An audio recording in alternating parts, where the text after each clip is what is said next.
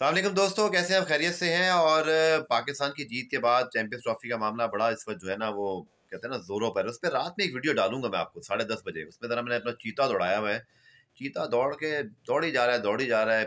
कुछ कदाफ़ी के पास भी कुछ इस्लामाबाद की हुकूमती राहदारियों में कि हुकूमत करने के हवाले, चूँकि बहुत ख़तरनाक किस्म के प्लान थे पाकिस्तान गवर्नमेंट के कि इंडिया अगर नहीं आया तो फिर हमने पी सी बी को कहीं नहीं भेजना। फिर पाकिस्तान टीम चाहे घर बैठ जाए बट मतलब इस बार लिटरली जो है ना, वो इंडिया की कोई बात नहीं माननी। मतलब इंडिया को आना पड़ेगा, ये पाकिस्तान गवर्नमेंट ने फैसला किया। लेकिन चले, एक हेड कोच के मामले में आप लोगों के बहुत सारे मुझे कमेंट्स आए थे और मैं कोशिश करता हूँ कि आप लोगों को उसका जवाब दूँ।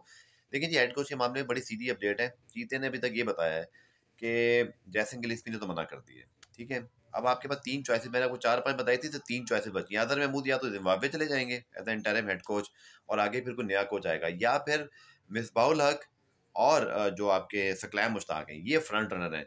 लेकिन अभी कोई हतमी फैसला नहीं हुआ, चूँकि सीधी बात है कि पाकिस्तान क्रिकेट बोर्ड बुरी तरह जो है ना चैंपियंस ट्रॉफी के मामले फंस गए है और अभी इसमें फिर खोज, वो इंटरव्यूज़ इंटरव्यू फ़िलहाल तो ऐसे लग रहा है जैसे जिम्बाब्वे के लिए शायद अजहर महमूद साहब भी चले जाएँगे क्योंकि वो इस वक्त इंटरम हेड कोच हैं।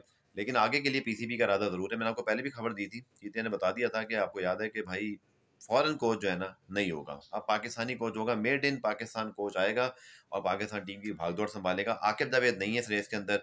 हालाँकि मेरे ख्याल में शायद वो हो सकते थे। अजहर अली का नाम भी लोग लेकिन मेरे ख्याल में सिलेक्शन कमेटी में बिल्कुल नहीं होंगे। असर शफी का नाम ले रहे हैं, वो भी नहीं होंगे।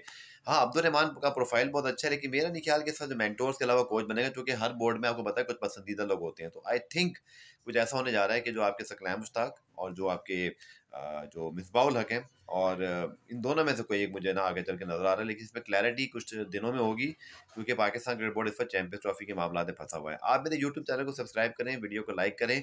रात दस बजे, आज या साढ़े दस बजे, मैं थोड़ा सा एक चीते को खबर के दौड़ाया हुआ है। चैंपियंस ट्रॉफी के मामले में बड़ी खतरनाक खबर आने वाली है, वो मैं आपको दूँगा। तो मेरे चैनल को सब्सक्राइब वीडियो को लाइक कीजिएगा। कुछ सवाल है तो कमेंट सेक्शन में ज़रूर कीजिएगा। Take care